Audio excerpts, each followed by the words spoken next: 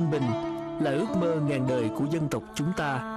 Để giữ vững bờ cõi, bảo vệ được non sông gống dốc và để tồn tại giữa một thế giới bạo tàn từ bao đời nay, người Việt Nam đã phải liên tục gồng mình để chống lại nạn ngoại xâm.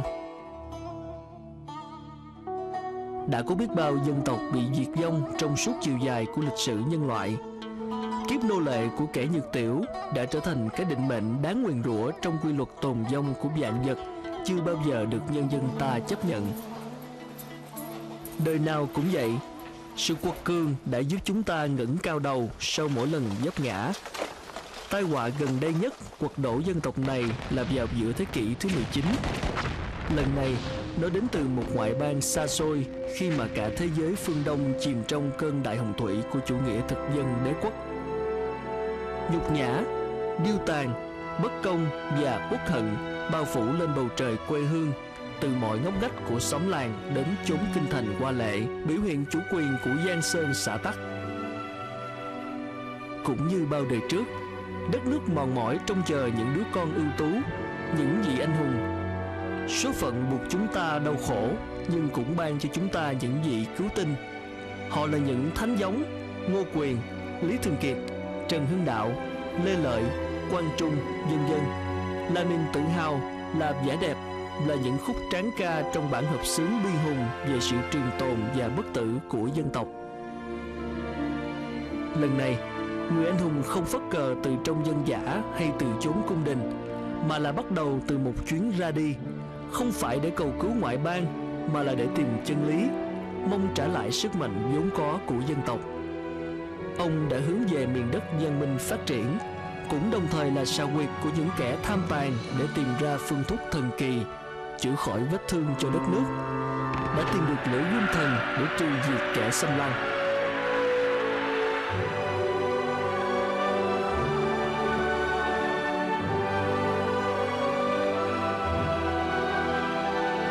Bộ phim này sẽ được dành để nói về cuộc hành trình vĩ đại của ông, thiên anh hùng ca lãng mạn huy hoàng và bay bổng nhất trong lịch sử đất nước.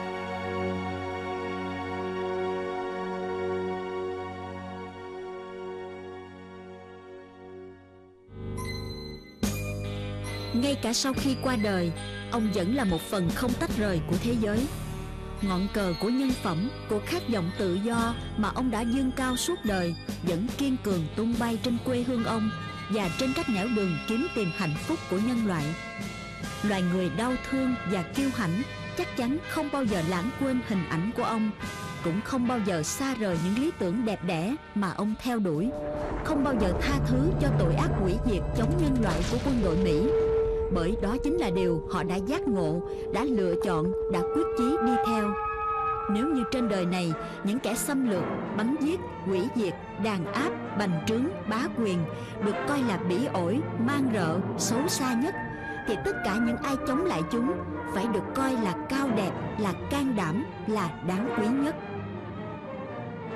Hành động chính nghĩa sáng ngời của Hồ Chí Minh và sự dũng cảm của ông trước các thế lực bạo tàn đã góp phần phân chia thế giới thành hai loại.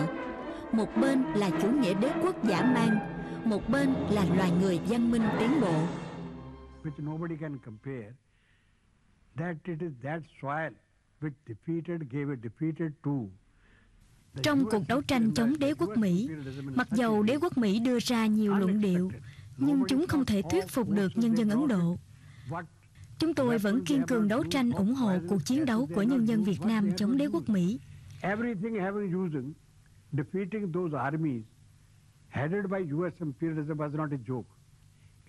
Đó là thái độ của chúng tôi. Không chỉ là của những người dân bình thường, mà ngay cả những người đảng viên và cả những người lãnh đạo.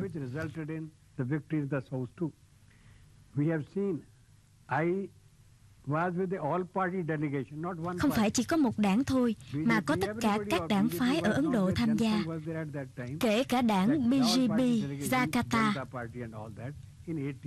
I was a student when your liberation struggle was on. Khi mà cuộc đấu tranh giải phóng đất nước Việt Nam đang diễn ra, thì tôi còn là một sinh viên.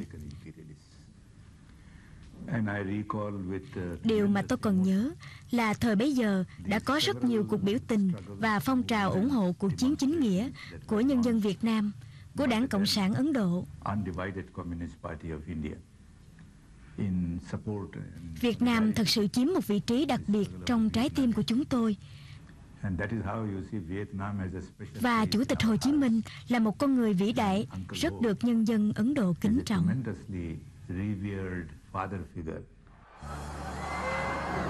Một trong những dân tộc vĩ đại nhất trên thế giới là Ấn Độ đã dành cho ông và nhân dân ông lòng kính trọng và ngưỡng mộ sâu sắc. Thủ tướng Nehru cùng con gái là Indira Gandhi đã tới thăm ông chỉ một tuần sau ngày Hà Nội được giải phóng tháng 10 năm 1954. Đầu năm 1958, ông đi thăm chính thức Ấn Độ. Đây là quốc gia được Hồ Chí Minh đặc biệt quan tâm. Ông đã dành nhiều thời gian và công sức nghiên cứu về miền đất này từ rất sớm. Một đất nước có nền văn minh cổ rực rỡ, một nạn nhân lớn của chủ nghĩa thực dân và đồng thời cũng là nơi phong trào đấu tranh giành độc lập diễn ra mạnh mẽ, bền bỉ, thu được thắng lợi. Nay là người bạn chiến đấu thân thiết cùng lý tưởng, cùng hoàn cảnh, đang hết lòng ủng hộ cuộc đấu tranh của chúng ta. Hồ Chủ tịch được nhà lãnh đạo lỗi lạc Nehru và nhân dân Ấn Độ đón tiếp nồng nhiệt bằng tất cả lòng kính trọng, sự ngưỡng mộ và tình yêu lớn lao dành cho một vị thượng khách là lãnh tụ tối cao của một dân tộc anh hùng. Tất cả đều toát lên một tình cảm anh em thấm thiết và lòng khâm phục thực sự.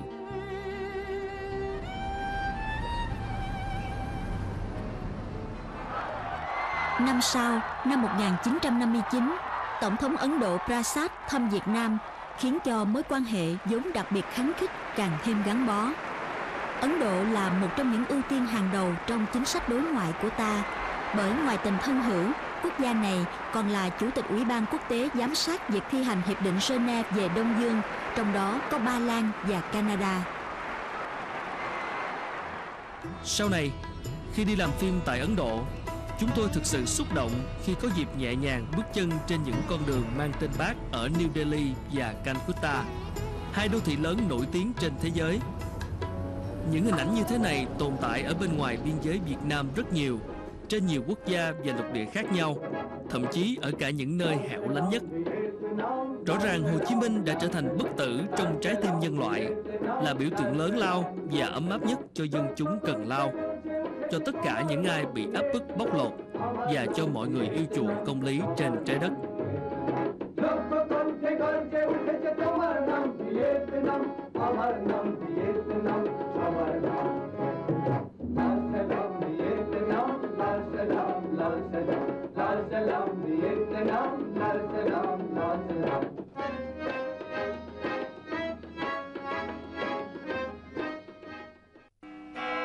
Mà Tư Khoa và Liên bang Xô Viết luôn là chốn thiêng liêng đối với Hồ Chủ tịch. Sau lần rời Liên Xô năm 1938 đi Trung Quốc để về nước, ông đã trở lại nơi đây một lần vào năm 1950 trong một chuyến thăm bí mật. Còn đây là chuyến thăm chính thức sau này. Chuyến đi bí mật năm 1950 là để vận động sự hỗ trợ cho cuộc kháng chiến chống Pháp của ta. Lần đó, Hồ Chủ tịch đi bằng đường bộ tới Long Châu, Nam Ninh, đi xe lửa tới Bắc Kinh rồi Mạc Tư Khoa. Tại đây, bác đã hội kiến với Stalin và cả Mao Trạch Đông cùng Chu Ân Lai đang ở thăm Liên Xô. Đó được xem là chuyến thăm làm việc quan trọng nhất của bác trên đất nước Xô Viết trong thời kỳ chống Pháp, bởi nó đạt được sự viện trợ to lớn của cả Liên Xô và Trung Quốc. Còn trên màn ảnh lúc này là chuyến đi thăm cảm ơn chính phủ và nhân dân Liên Xô đã tận tình giúp đỡ nhân dân ta kháng chiến thành công. Sau này, bác còn sang thăm Liên Xô nhiều lần nữa để thắt chặt hơn mối quan hệ hữu nghị.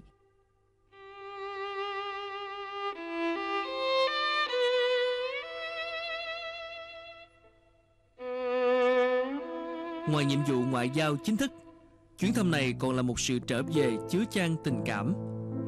33 năm về trước, lần đầu tiên Nguyễn Ái Quốc đặt chân tới mặt Tư Khoa khi Lenin còn sống nhưng chưa kịp tiếp cận thì vị lãnh tụ đã từ trần.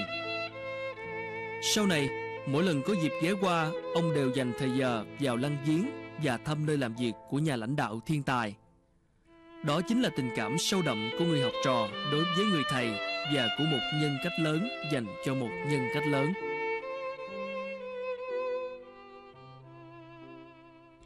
Một trong những tính cách nổi bật của Hồ Chí Minh là tâm tình cởi mở, bao dung, chính trực, quan hệ rộng rãi, nên luôn nhận được sự yêu mến, ngưỡng mộ của bạn bè và sự kính trọng của kẻ thù.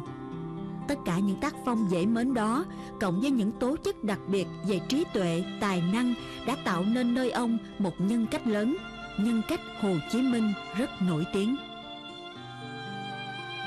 Về mối quan hệ Việt Xô nói chung cũng như mối quan hệ giữa Hồ Chí Minh với các nhà lãnh đạo Xô Viết, với nhân dân Liên Xô nói riêng, còn có rất nhiều điều để giới nghiên cứu đề cập, phân tích và đánh giá. Nhưng có một điều chắc chắn đó là nó cực kỳ hệ trọng đối với sự nghiệp cách mạng của Việt Nam. Qua cách cư xử của bác, bạn bè trên thế giới sẽ hiểu được bản chất chung thủy và tấm lòng trong sáng của chúng ta. Hồ Chủ tịch đã hoạt động không mệt mỏi cho tình hữu nghị.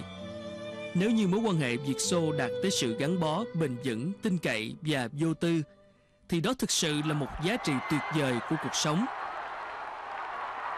Bằng thiên tài ngoại giao bẩm sinh và bằng trái tim nồng nàn, ông đã làm cho những người Xô Viết và những người Việt Nam thật sự yêu quý, ngưỡng mộ và kính trọng nhau. Đó là một chiến công hiển hách, một tòa lâu đài thật sự của nhân tâm và của tình hữu nghị giữa một thế giới đầy nghi kỵ. Lịch sử đã có không ít những tấm gương cao đẹp về mối quan hệ giữa hai dân tộc, nhưng mức độ sâu sắc, chân tình và thấm thiết thì rất khó tìm được một hình mẫu tương tự như mối quan hệ Việt Xô dưới thời đại Hồ Chí Minh. Chất lượng của mọi mối quan hệ bao giờ cũng phụ thuộc vào yếu tố quan trọng nhất là mức độ trong sáng của động cơ. Mà điều này thì tấm lòng Hồ Chí Minh rõ ràng là một báu vật, một đóa pha lê cực kỳ tinh khiết. Đã là quan hệ thì bao giờ cũng phải từ hai phía. Quá khứ, mối quan hệ Việt Xô đã từng có một thời kỳ sóng gió. Đó là lúc mà Khrushchev phê phán Stalin. Rồi tiếp theo là việc Liên Xô thỏa hiệp với Mỹ đang là kẻ thù số một của Việt Nam và bao trùm lên tất cả là cuộc xung đột dữ dội về quan điểm giữa Liên Xô và Trung Quốc.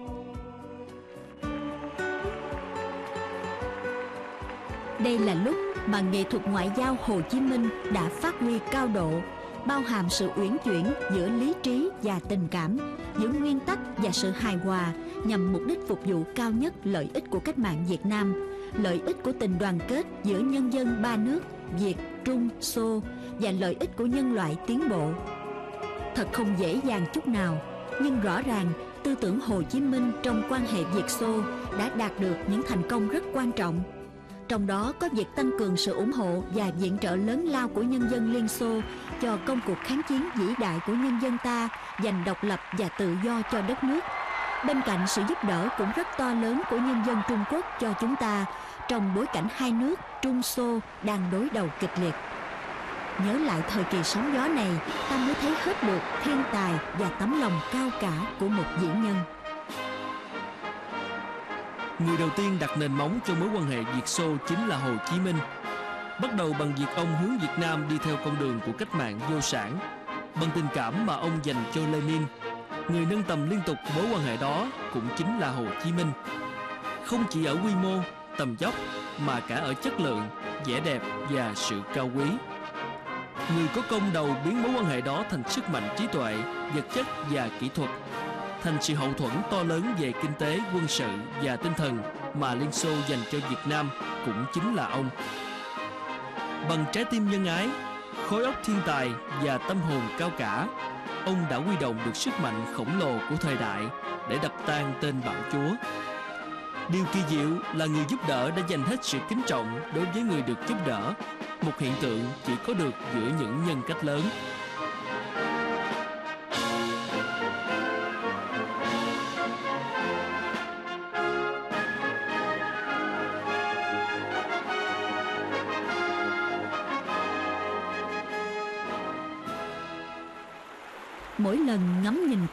Hồ thăm Trung Quốc, ta lại thấy đâu đây trong tâm thức bóng hình bác bên bức tranh của nền văn minh Trung Hoa vĩ đại. Cũng như Pháp và Liên Xô, Trung Quốc là nơi Hồ Chí Minh đến sống và hoạt động rất lâu và rất nhiều lần. Riêng trong mối quan hệ Việt Trung hiện đại, ta thấy được nhiều điều lý thú về bác. Nếu như mối quan hệ Việt Pháp chỉ rộ lên từ cách đây chưa tới hai thập kỷ, quan hệ Việt Xô chưa tới một thập kỷ, thì quan hệ Việt Trung đã có từ nhiều ngàn năm, bắt đầu từ tổ tiên xa xưa của hai dân tộc. Lâu dài, thăng trầm, liên tục và sóng gió chính là đặc điểm lớn nhất của mối quan hệ ngàn đời giữa Việt Nam và Trung Quốc. Từ bao đời nay, chúng ta vẫn hiểu rằng khi Thượng Đế đã đặt hai đất nước ngay sát cạnh nhau thì đó chính là số phận. Nếu êm ả thì hạnh phúc, còn ngược lại thì bao giờ sự bất hạnh cũng nghiêng về phía kẻ nhược tiểu. Vậy mà kỳ diệu thay, trong suốt nhiều ngàn năm qua, chưa bao giờ quan hệ giữa hai nước lại thăng hoa như trong thời đại Hồ Chí Minh, mà công lao kiến tạo chủ yếu là thuộc về lãnh tụ tối cao của cách mạng Việt Nam. Quan hệ hữu nghị thân thiện bao giờ cũng đem lại niềm vui cho cả hai bên, đặc biệt là cho quốc gia nhỏ hơn. Điều đó nói lên mong muốn hòa thuận của chúng ta là luôn chân thành, là không bao giờ vụ lợi. Sự tương đồng về lý tưởng cùng với tấm lòng trong sáng của Hồ Chí Minh đã tạo nên mối cảm tình sâu sắc của các nhà lãnh đạo và nhân dân Trung Quốc đối với cách mạng Việt Nam. Trong mối quan hệ đó, ta thấy một biểu hiện nổi bật. Đó là sự thông hiểu sâu sắc của một nhà văn hóa lớn, một học giả kiệt xuất đối với một quốc gia lớn, một nền văn hóa lớn. Càng suy nghĩ, ta càng cảm thấy Hồ Chí Minh hiểu rất rõ về đất nước Trung Hoa, cả quá khứ và hiện tại. Ông đánh giá rất cao những cống hiến vĩ đại của nền văn minh Hán tộc, cũng hiểu rất rõ tham vọng bá quyền và bành trướng lãnh thổ của các dương triều Trung Hoa mà Việt Nam là một nạn nhân. Ông thực sự vui mừng và tự hào về những người cộng sản và cách mạng Trung Hoa. Chính chủ nghĩa cộng sản đã biến kẻ thù truyền kiếp của nhân dân ta là đế quốc Trung Hoa hiếu chiến thành người bạn cùng chí hướng. Tuy nhiên, ông cũng hiểu rằng chỉ với mấy chục năm, cách mạng vô sản khó có thể thay đổi được thế giới và do đó khó có thể thay đổi được nếp nghĩ mà con người thừa hưởng từ truyền thống nhiều ngàn năm nên việc dung đắp cho mối tình hữu nghị được ông coi là sứ mệnh cao cả. Không chỉ cần được duy trì mà còn phải luôn được nâng niu nuôi dưỡng bằng những động cơ trong sáng từ cả hai phía.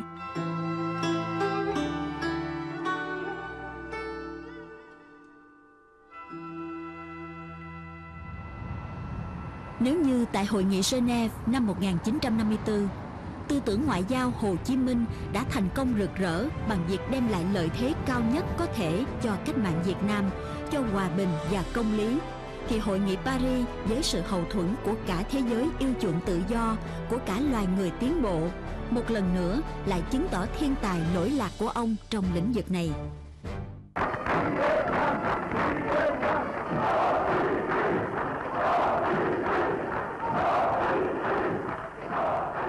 Để đưa được đại diện của chính phủ Mỹ và đại diện của chính phủ lâm thời cách mạng miền Nam Việt Nam tới bàn hội nghị đã khó. Duy trì được cuộc đàm phán kéo dài nhiều năm trời, đối phó hữu hiệu, thành công trước sự quỷ quyệt, gian trá và ngoan cố của kẻ thù lại càng khó khăn gấp bội. Bằng đường lối đối ngoại tích cực, chúng ta đã huy động được sức mạnh bảo vệ công lý của toàn thế giới. Và rồi, cuộc đỏ trí trên bàn hội nghị và đỏ sức trên chiến trường đã buộc Mỹ phải chấp nhận rút hết quân đội khỏi Việt Nam. Đó là thắng lợi của chủ nghĩa anh hùng cách mạng được dẫn dắt bằng tư tưởng Hồ Chí Minh, kết hợp đấu tranh vũ trang với đấu tranh chính trị, trong đó có đấu tranh ngoại giao. Về phương diện quân sự, chúng ta không thể so sánh được với tên đế quốc khổng lồ, cực kỳ giàu có, hùng mạnh, tàn bạo và khát máu. Chính cuộc đấu tranh chính trị, trong đó có ngoại giao, mà Hồ Chí Minh chủ trương đã điều chỉnh được cán cân, điều chỉnh được tương quan so sánh, dành thế mạnh cho cách mạng, tạo nên câu chuyện thần kỳ về cuộc đàm phán có một không hai trong lịch sử chiến tranh Việt Nam, chấm dứt sự xâm lược trực tiếp của người Mỹ, thu hẹp sự can thiệp của họ, đưa cuộc chiến tranh cách mạng tiến tới giai đoạn cuối cùng là tổng tấn công để giành thắng lợi hoàn toàn. Hồ Chí Minh qua đời năm 1969 nhưng tư tưởng của ông, chủ trương đường lối của ông đã được các học trò, những người bạn chiến đấu và toàn thể dân tộc Việt Nam thực hiện một cách xuất sắc. tạo nên điều kỳ diệu mà nhân loại được chứng kiến vào nửa sau thế kỷ 20, góp phần quan trọng vào chiến công của loài người trong công cuộc bảo vệ công lý và nền văn minh, vào chiến thắng một cách khó khăn, gian khổ nhưng cực kỳ vinh quang của cái thiện trước cái ác. Cả dân tộc Việt Nam đã dùng lên đạp đổ kẻ thù, giành lại độc lập tự do. Cả thế giới nín thở theo dõi và chứng kiến cuộc hồi sinh kỳ diệu của một dân tộc nhỏ bé nhưng quật cường, được hướng dẫn bởi tư tưởng của một vĩ nhân, một thiên tài, một vị thánh của lòng từ bi bác ái, một anh hùng dân tộc và danh nhân văn hóa thế giới. Sự kiện trọng đại này của nhân dân ta đã góp phần quan trọng vào hàng loạt biến động vĩ đại của thế giới, tạo nên một trong những thế kỷ bi hùng, lạ lùng và tráng lệ nhất của lịch sử. Một thế kỷ đầy bão táp, tàn độc nhưng cũng đầy vinh quang, được tạo dựng bằng bàn tay và khối óc của nhân loại can đảm, bằng tài thao lược của những nhà thông thái, những người anh hùng. Trong đó có vị lãnh tụ thiên tài, nhân từ và bất tử của dân tộc chúng ta, Hồ Chí Minh.